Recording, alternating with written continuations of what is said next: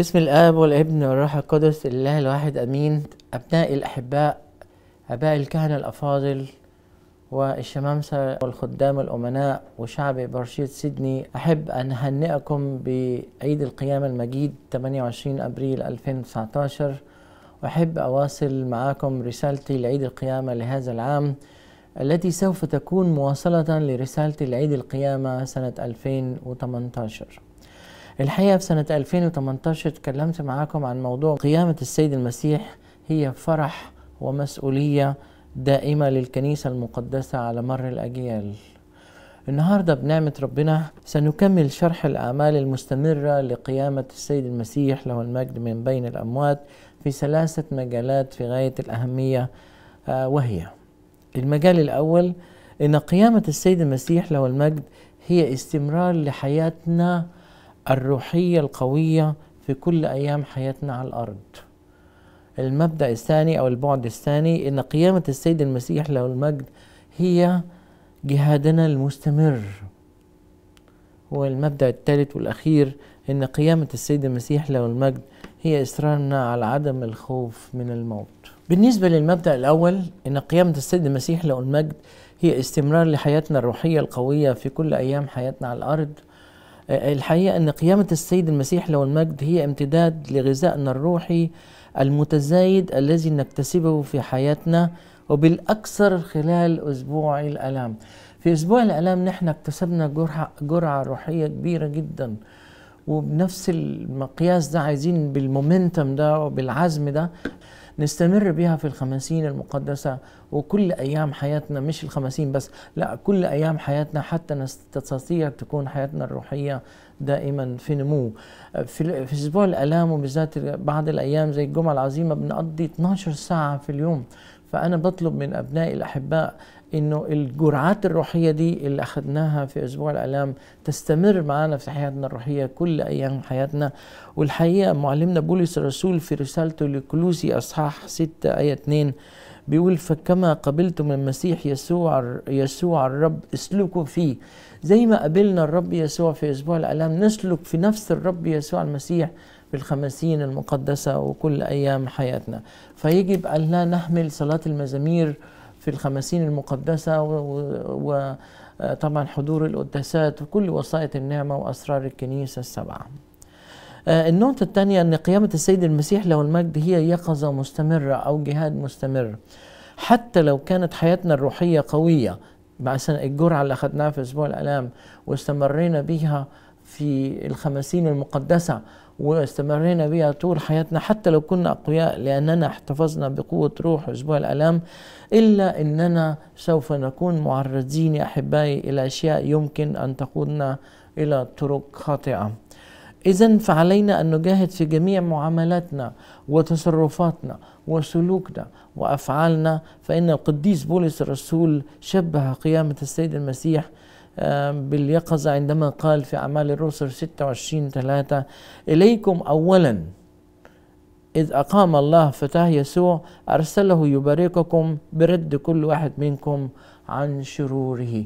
النقطة الثانية دي مهمة بمعنى إيه؟ في طريق حياتنا الروحية لو تعرضنا لمشكلة أو حد طريق شرير أو خطية لازم ربنا يسوع المسيح يرجعنا تاني للطريق المظبوط ويردنا عن الطريق الشرير زي ما حصل مع أمثلة كثيرة من أثناء الصلب الرب يسوع. مثلا الطريق الشرير بتاع معلمنا بطرس الرسول اللي أنكر الرب يسوع وربنا يسوع رجعه تاني بقيامته الحلوة ومحبته الحلوة.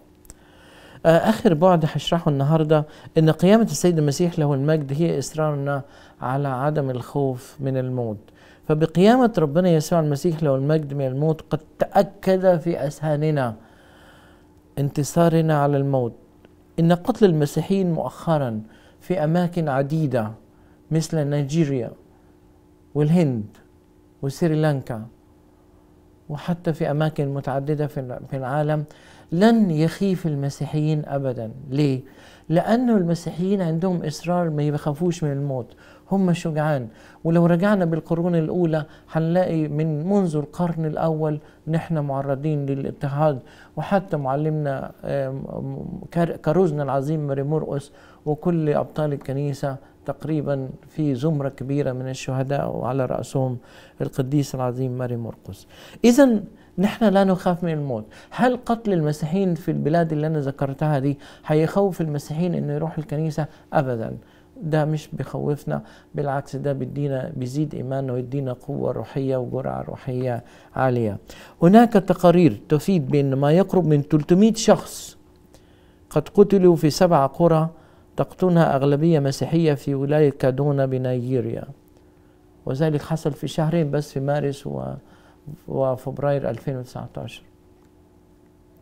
وفي الهند تشير التقارير بأن التعصب ضد المسيحيين في جامبو وكشمير يبلغ نسبة تنذر بالخطر ومؤخرا التفجيرات التي حدثت بسريلانكا آه، أدت إلى قتل 321 مسيحي في سريلانكا يوم الأحد الماضي اللي هو كان 21 آه، أبريل 2019 كل هذه الأحداث لا تخيف المسيحيين بل تعطيهم نصرة على الموت لأنه نحن المسيحيين لنا ليست لنا هنا مدينة باقية بل نطلب العتيد الشهداء المصريين الأبطال اللي قتلوا في ليبيا ال 21 شهيد على يد داعش. هؤلاء الشهداء لم يخشوا الموت لأنهم يؤمنون بقوة القيامة أو الانتصار على الموت. وعايز أقول لكم حاجة على شهداء ليبيا ديل. بشهدائهم آه، بشهادتهم للمسيح وعدم خوفهم من الموت أصبحوا هم أداة للكرازة للكنيسة القبطية الأرثوذكسية حتى في اليابان. وعايز أحكي لكم قصة صغيرة جدا آه، حصلت في اليابان بسبب يعني كرازة هؤلاء ال 21 شهيد.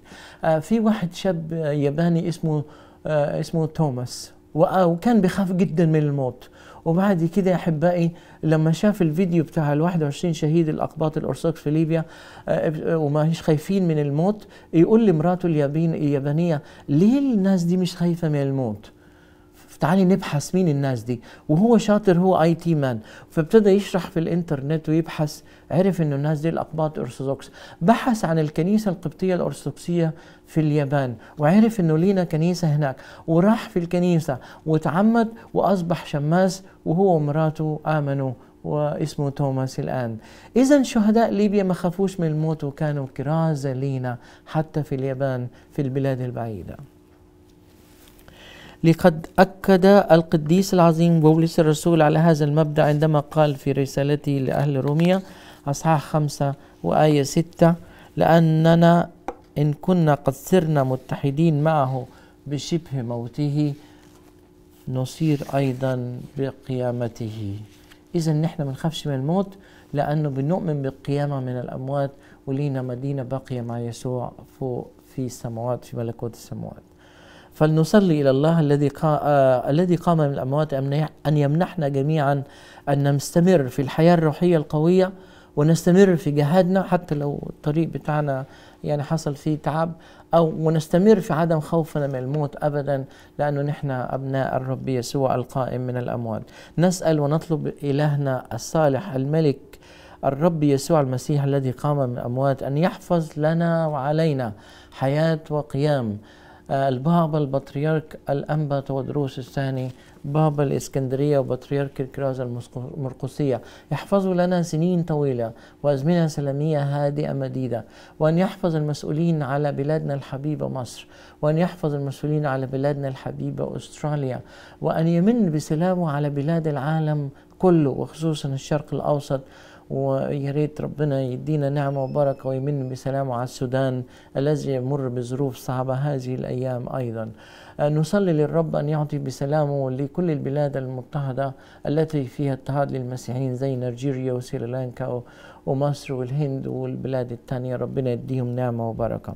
آه الله قادر أن يعطينا كل محبة وسلام وفرح في الرب يسوع المسيح القائم من الأموات. لإلهنا كل مجد وكرامة من الآن والأبد آمين.